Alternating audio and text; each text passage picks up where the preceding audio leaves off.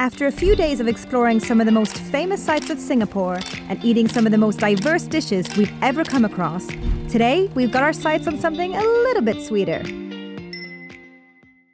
We are in Chinatown here in Singapore, and as many of you guys will know, we absolutely love desserts. We've definitely not kept that a secret. Sometimes we even have cake for breakfast in our videos, and we've done so many videos dedicated to desserts. So we thought the perfect schedule for today is just go around here in Chinatown and eat loads of them.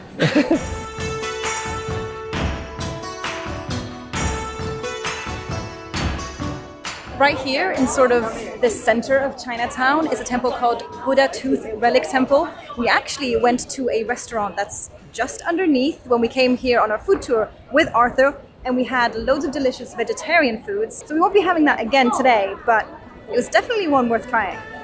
Chinatown in Singapore is known for its colorful heritage buildings, rich history, and flavorful food. Historically, these streets were used to sell opium and were cluttered with places to gamble. Today is a different story, with streets filled with beautiful cafes, quaint dessert shops, trinkets, and a whole lot of durian.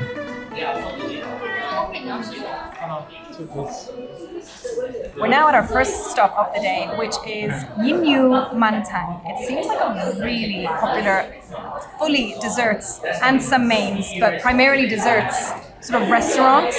There's loads of people in here. You can probably hear it is quite loud. Okay, I ordered three things. I've ordered mango with mini rice balls and sago, deep fried milk, which sounds very interesting, and Hong Kong style iced red beer drink with ice cream inside. Okay, so this is the Hong Kong style. Oh my god, it's hot. It's hot. Yeah, it's hot at the bottom and cold at the top.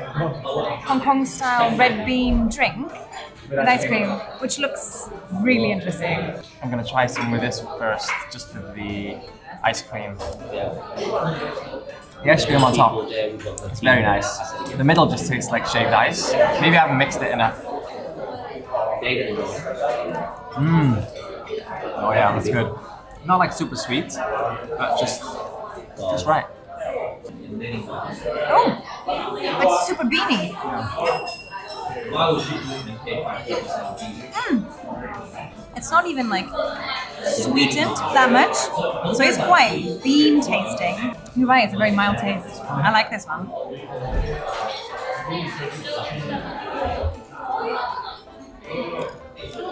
Yeah, I've been lucky because my friend just mm. Yeah. It tastes milky, but it's not like runny like milk. I get the contract. It's more like a custard, like a gelatinous custard. This would yeah. be much easier to sell than, than really good. We've got sort of the main meal of the desserts for this time around. It looks incredible. It was mini rice balls with mango and sago. It looks like a smoothie bowl. It looks. I love a good smoothie bowl. Oh, it smells so fresh, like mango. Mm. Oh. These pop in your mouth. These are filled with something.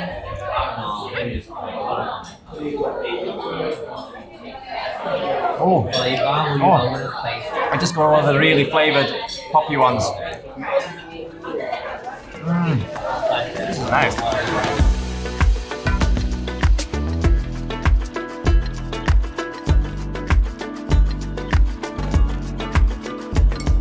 The next place that we're going to is literally just a few doors down. Let's go.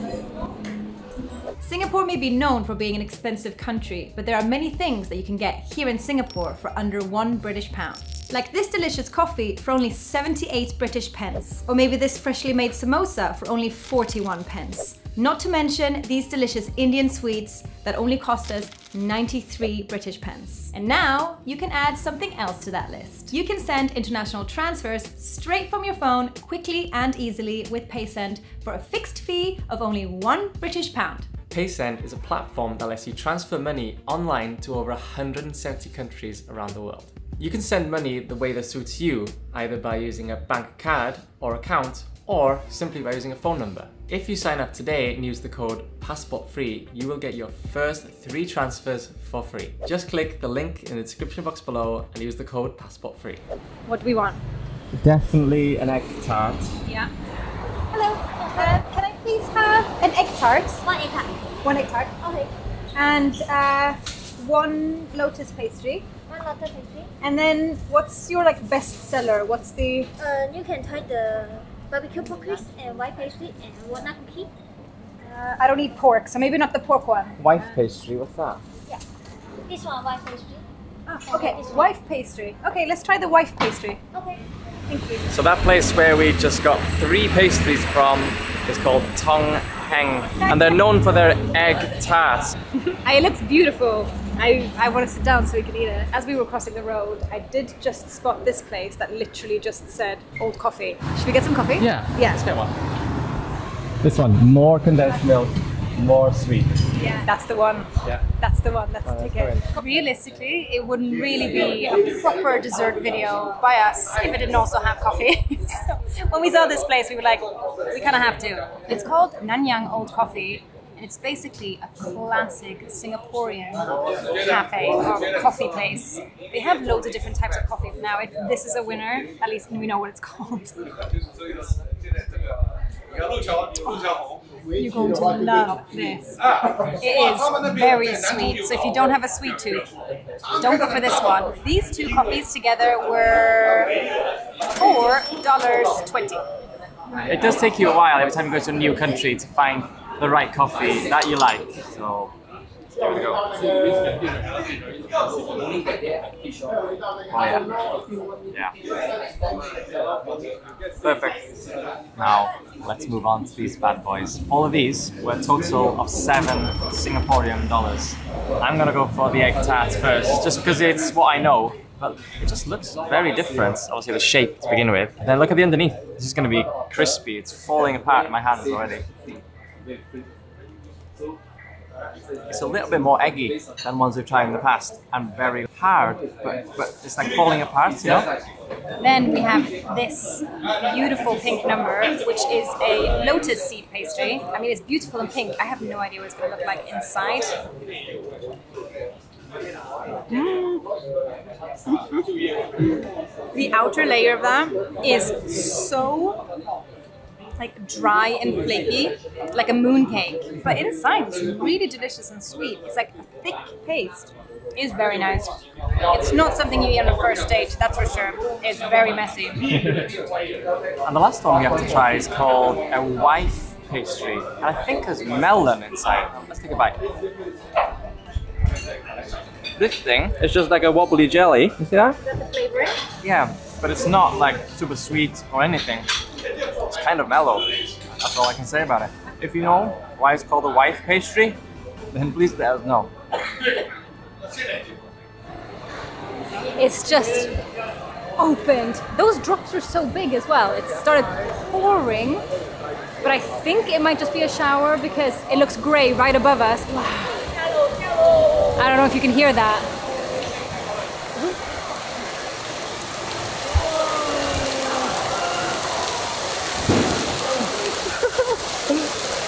Oh.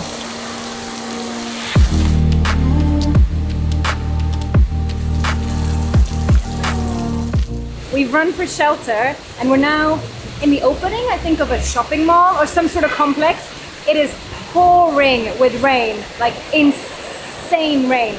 But as we were seeking shelter, I think Dylan's just spotted exactly what we're looking for and he's just down there. You got a look? Yeah. Hello. Hello. No? Finish? Ah, okay, thank you. That was exactly what we wanted, but the guy said he'd run out. So we're looking basically for ice cream, as simple as it sounds, inside bread. That doesn't sound amazing, but apparently it's well known here in Singapore. It and we've been amazing. recommended it quite a lot of times by you guys in the comments, so we wanted to try and find it. Maybe Yeah. we'll find it here somewhere. I feel like there's a few food places around here, so even if we don't find that, we'll find something else. Yeah. Purple sweet potato. We have to get one of those. We have to get one. I love sweet potato. So one for three dollars. Yeah. Hello. Can we have uh, one? Okay. Thank you. It's a little rabbit. Yeah. Probably for the Lunar New Year, right? It's supposed to be filled with purple sweet potato. Very good. Mm-hmm. That's really sweet. That's delicious. Look how cute it is. and this was three dollars. Hmm. We jumped on the MRT to think, okay, we actually Googled it. We found another uncle that's supposed to be doing this ice cream sandwich near the Sim Lim Tower. However, once we hopped on the MRT, took the MRT, came back out, here it's now pouring, where it's a little bit closer to Little India than we were before. So we're no longer in Chinatown, but he's not here. Maybe because it's pouring with rain? I don't know, but I think we're gonna have to admit defeat on this one.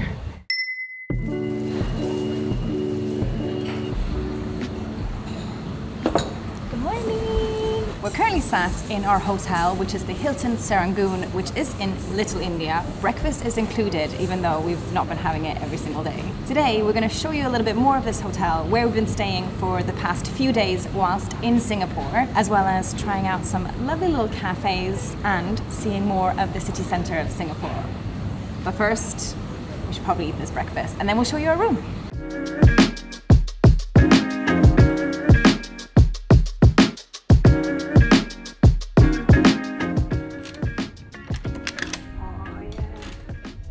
Hotel is so nice. It is sort of in the heart of Little India, which means it smells amazing, it's very vibrant. You can pop downstairs and have food pretty much anywhere. Delicious, amazing. Love this area. Straight through here is the bathroom. Standard bathroom with what you'd expect, but the real selling point for me is the fluffiest fluff bed. Just look at this. Oh, Look how nice that is. We've been sleeping so well here. Partially probably because we've been doing a lot of walking. Singapore is extremely walkable, so we've been sleeping like babies after walking like 20,000 steps during the day. There's a big flat screen TV that we haven't used once because we've been out so much, but it's there if you want it. A lovely desk where Dylan can do a little bit of work. This place was a little bit more than we tend to spend in a hotel, but I think More than a little bit. A lot more, but I think it's kind of normal prices that you can expect for Singapore. So we paid around 166 pounds, British pounds per night for this stay. You can stay in sort of pod hotels and hostels, but because we have all of our stuff with us and we're doing all the filming, it just makes it so much easier for us to have a private room. Anyway, we saw a super cool cafe that's supposed to be about 10 minute walk from here, so let's go check that out.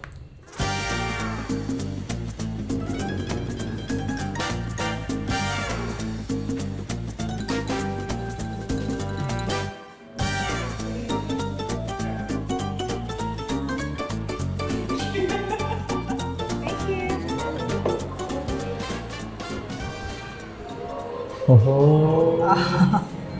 That looks so good. Look at these things. We've got a hot Biscoff coffee. We've got a cold Biscoff coffee. And then we've got a Biscoff cheesecake. No, this is not a Biscoff themed cafe. we just really like it. This place is called Cafe Monochrome, and as you can see, everything is pretty much 2D. There's a few rooms in here that you can sit down. I can imagine watching this, everything doesn't really look real. Uh, and look, look at this. It's got so much like Biscoff sauce there. Oh, need to mix that. See now, mix that completely. Oh, I'm just getting Biscoff bits in my mouth.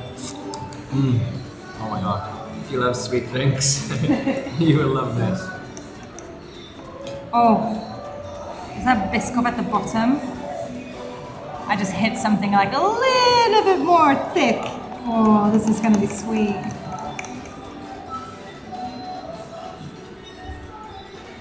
Oh my goodness. Oh, that's so good. I love Biscoff.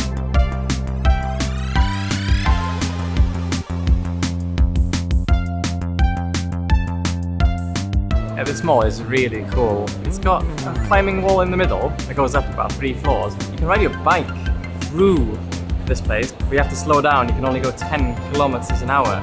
It's very futuristic.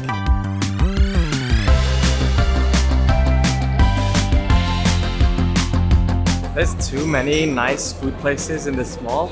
It's so tempting, but we have one place in mind that we want to go later on that we've been walking past pretty much every day, and we haven't Yeah. been there yet. It always smells and looks really yummy. And but busy. I am yeah, and very busy. When we were walking past it earlier, we were like, okay, we're gonna have to wait a little bit with this one. But I'm getting quite the appetite now. Yeah? I'm hungry. Yeah.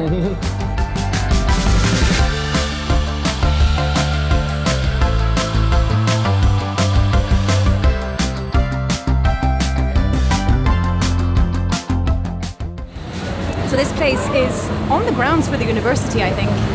Uh, so it's very affordable, and it is basically just nasi lemak, which we love. Fourteen dollars for two nasi lemaks with two drinks. Thank you. I'm ready for this. Oh wow! So this place is called Nasi Lemak Ayam Taliwang and Nasi Lemak is a very famous dish in Malaysia and also in Singapore.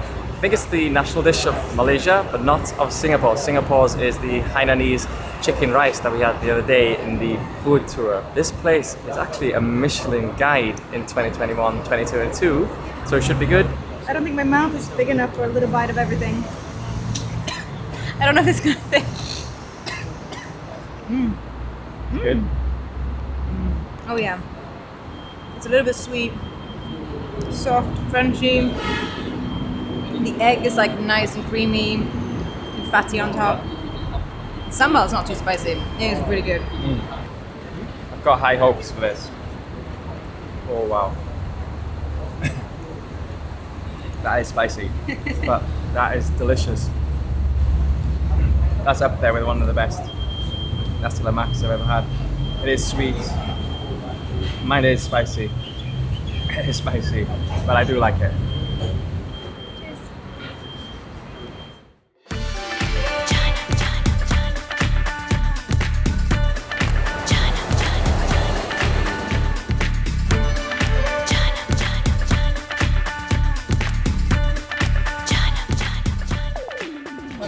About Little India is the smells are incredible. No matter where you're walking, you can smell the spices of the Indian food. I was just in the kitchen now, and I could see him making the garlic naan and putting it in the like a clay pot and sticking it to the side. Uh, that's gonna be tasty. If it's not food that you're smelling, it's the various incense that they're burning pretty much everywhere. It smells so good. Everything's so colorful as well. It's just awesome. the first thing we've got is this. Oh, it so. This chickpea masala. I think there's also some lentils in there. It smells absolutely like mind blowing. Just look at that. Oh. And then we got a butter paneer masala as well. I don't think I've ever had paneer before, but I think it's a type of cheese. On the menu, it was referred to as cottage cheese. And to top it all off, we got the most gorgeous garlic naan. You can just imagine how amazing this smells. Oh, I'm so excited. Oh, perfect dish. This, a little bit of that, a little bit of rice.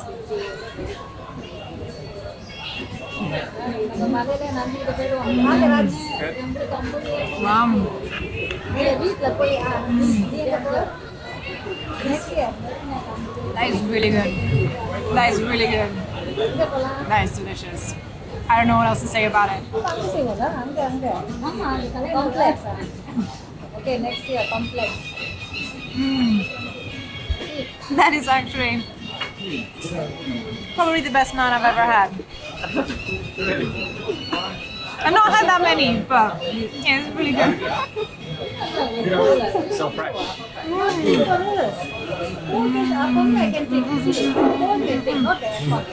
This type of Indian food is not like the Indian food you get in the UK. Like, I'm gonna go in with my hands, garlic naan, bit of everything, I think.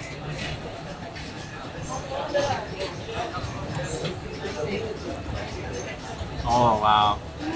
This tastes so good. Oh my god. That's serious. That's seriously good. I know, I wasn't exaggerating. Wow. That is really like potentially one of the best flavored things I've ever eaten as well. My god. 10 out of 10. Right? 10 out of 10. I don't 11 out of 10. This food is so good. We literally bought another garlic naan. There's something there's something about it when it comes straight out of the oven or out of that cauldron. It just smells so buttery and garlicky. Ah, my god. Seriously, we'll put the name of this uh, place on the screen. You have to come here.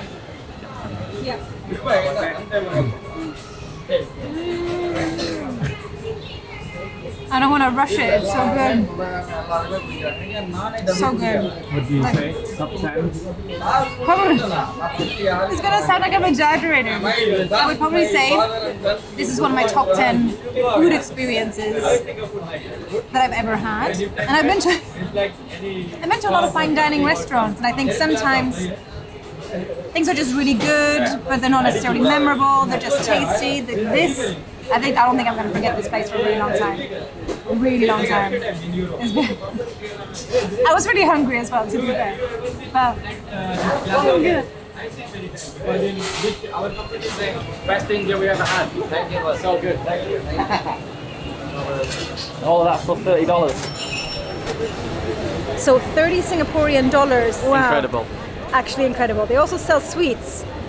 And I would normally be tempted, but I think I squeezed in as much of that main meal as I possibly could. There is genuinely no space left. that was so good. Yeah. tomorrow we're leaving but not quite leaving singapore you'll get what i mean when you watch the next video but we're basically changing up where we are to a bit of a different location so make sure that you subscribe so you don't miss that one See you tomorrow. Bye.